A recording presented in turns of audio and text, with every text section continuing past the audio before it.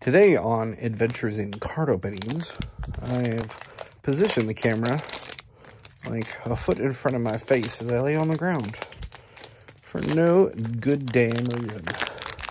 Other than I not something I've done or I've seen other people do.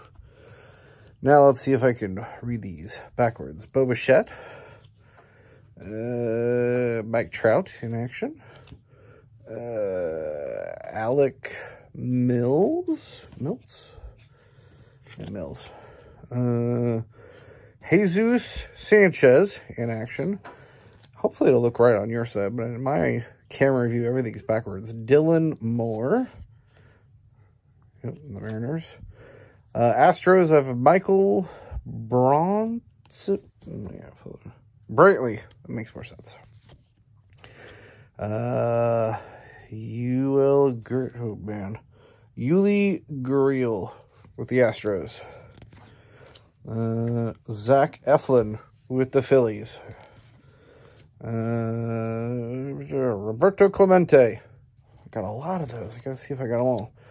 Uh, Dallas. Ketchel. Is that what you said, Bridget? White Sox. Nope. It's weird. It's weird. It sounded like Bridget was saying it. Uh. Tyler Mahle with the Reds. You done snacking? Mm-hmm. Right now. Trevor May. Oh, there we go. Yeah, you get your cute little face in here. Upside down cute face. Right? Uh, AL postseason. Rays World Series bound. Peace. Peace. Uh, Anthony Rizzo with the Cubs. It's probably gonna be a V. I dropped that Wait, one. no, upside down V. This is why people don't do them laying on the ground.